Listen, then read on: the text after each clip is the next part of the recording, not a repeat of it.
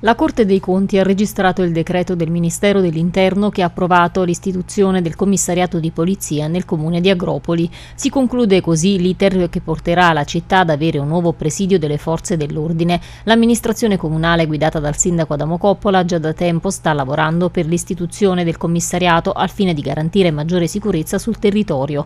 A tal proposito l'ente si è fatto carico della progettazione e della realizzazione della sede che sorgerà in via Scarpa nei pressi della caserma della Guardia Guardia di Finanza su una superficie di circa 3.100 metri quadrati. L'edificio sarà su due livelli. Al piano terra saranno presenti gli uffici aperti al pubblico, al primo piano quelli amministrativi, direttivi e la parte alloggiativa.